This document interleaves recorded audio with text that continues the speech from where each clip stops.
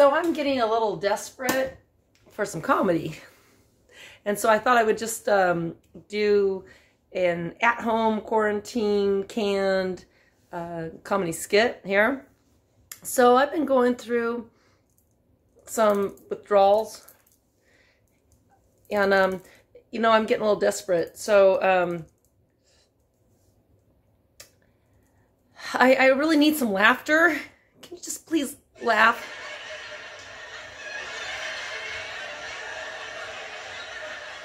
Thank you. Um, so in the quarantine lockdown, um, I have been um, really thinking about all of the guilt I've had because I was raised to be guilty for everything. And um, I want to apologize for the coronavirus because I kind of feel like somehow it was my fault. I think it was because of my vote. I voted in 2016 I put a YouTube video up called Mad Voters Guide to, to 2016, and it showed my vote for the Antichrist. I figured it was a two for one vote.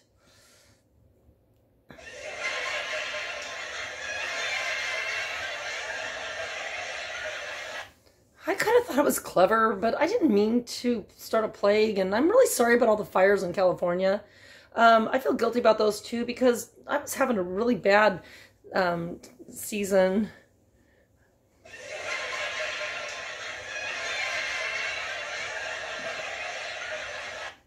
I have to be careful with my anger because I think that um, I could probably um, scare the Pope.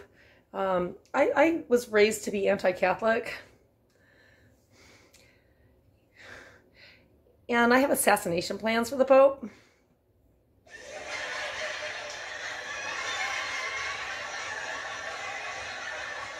And for Putin.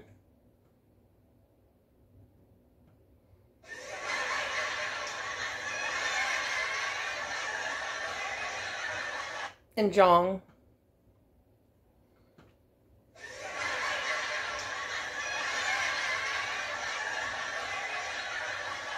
And Trump.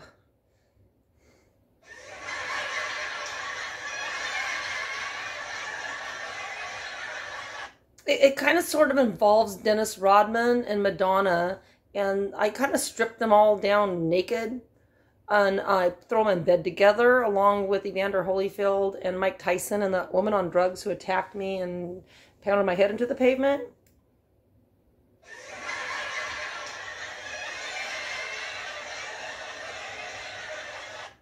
I could just throw Melania in there too and just leave him in that room. You could put some padded walls around there and just a nice big bed in the middle. And then just, you know, whoever comes out alive wins.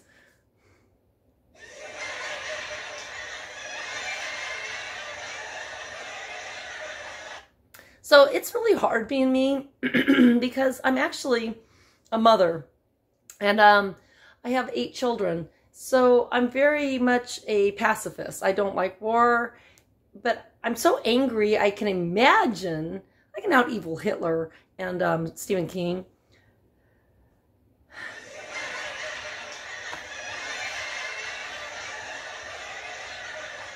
But I'm like a homicidal pacifist because I'm so extreme that for every suicidal thought I have, I have a homicidal thought. And I just like have these thoughts.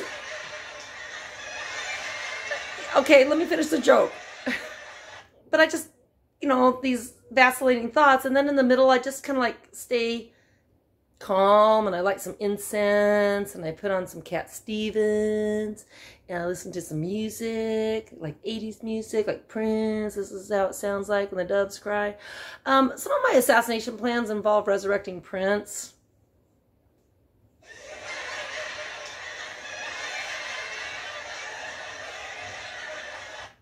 I could be considered a domestic terrorist.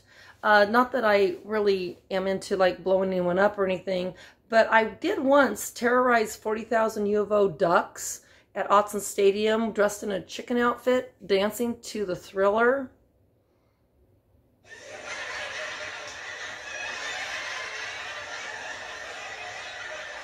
It ended up on national television. I just get myself into these situations. I don't know exactly how it happens. I'm almost more like, you know, Forrest Gump or something.